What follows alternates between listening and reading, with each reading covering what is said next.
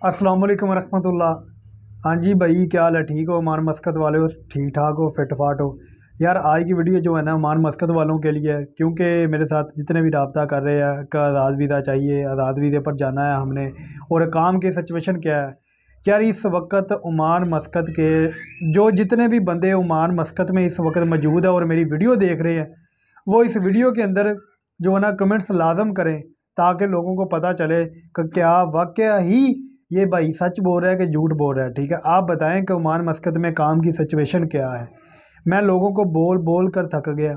हालाँकि मेरा जो है ना, मैंने ये बोला है कि आपको वीज़ा देना है, आपने उधर जाकर काम करना है, ठीक है? मिल गया तो कर ले, ना मिला तो ना सही, ठीक है? तो ज़्यादातर यही है कि आपका काम, आपको काम नहीं मिलेगा, काम ना होने के बराबर है। बाकी फिर भी जो है, आप ज़्यादा फोर्स करेंगे। कुछ बंदे ये कहते नहीं जी, हमें वीज़ा निकाल कर दे दे आप, वो हमारी सरदर्द है। और फिर बाद में उधर जाते हैं उधर जाकर फिर बाद में हमारे साथ रबता करते हैं हमें जॉब पर लगवा कर दें। मैं तो आपको पहले बोल रहा हूँ कि जॉब नहीं है उधर तो आप किधर किधर से मैं जॉब पर लगवा कर दूँ? तो इसलिए जो है ना अगर आपने वीज़ा लेना है तो वीज़ा तो मिल जाएगा तीन से चार दिन के अंदर आपका वीज़ा मिल जाएगा। आप टिकट करवाएँ और आप चले जाएँ।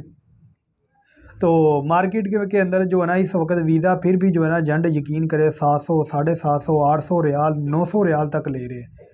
और सराखी भाइयों से यकीन करें, नौ सौ हज़ार रियाल ये किस्तों में ले रहे हैं। ठीक है, उधर जाकर फिर जो है ना इन्होंने अदा करने होते हैं, वो उनकी तो मेरी आप सबसे गुजारिश है कि कोई बंदा भी जो है ना अमान मस्कत का वीज़ा मत ले।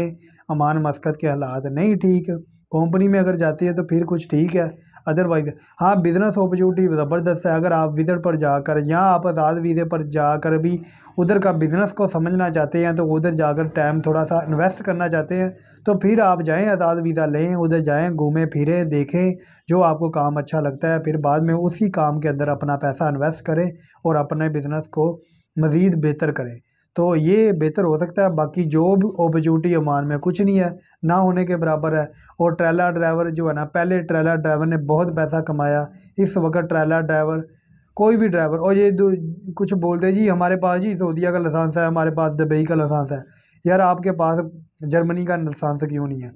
जब उधर ओमान के पास, ओमानी लाइसेंस लोगों के पास जो है, वो, उनको जॉब नहीं मिल रही ड्राइविंग की, आपको कहाँ से मिल जाएगी?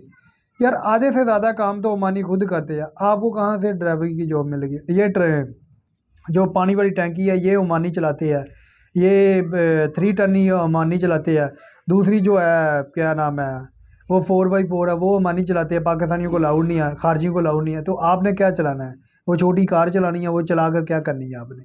तो इसलिए जो है ना, कार की ओबर की है। ओबर के अंदर भी वो ज़्यादातर पकड़ लेते हैं। तो इतने भी ज़्यादा पैसे नहीं बनते ओबर के अंदर। तो ऊपर में आपको तकरीबन आपका पैसा जो है ना पाकिस्तानी बीस से लाख से ऊपर पैसे, कार लेनी, आपने लाइसेंस बनाना, आपने वीज़ा ख़रीदना तो बीस लाख से ऊपर पैसे लग जाते हैं। तो बीस लाख आप पाकिस्तान में इन्वेस्ट करें तो अच्छे पैसे, अच्छे अर्निंग आप पाकिस्तान में कर लेंगे। बाकी आपकी मर्ज़ी, जिस तरह आपको बेहतर लगता है, हम तो हाज़िर हैं। अपना ख्याल रखें दो में यार के असल